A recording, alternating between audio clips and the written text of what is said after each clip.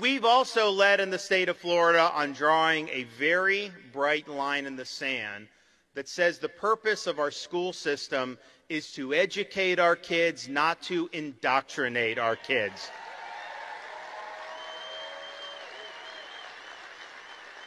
We've enacted a Parents' Bill of Rights that recognizes that parents have a fundamental role in the education and upbringing of their kids. School systems and individual schools are important parts of the community, but they do not supersede the rights of the parents.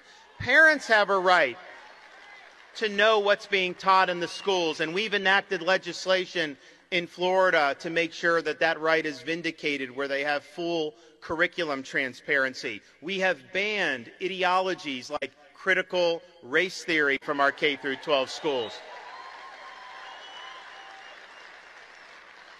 We are not going to spend taxpayer dollars teaching our kids to hate our country or to hate each other.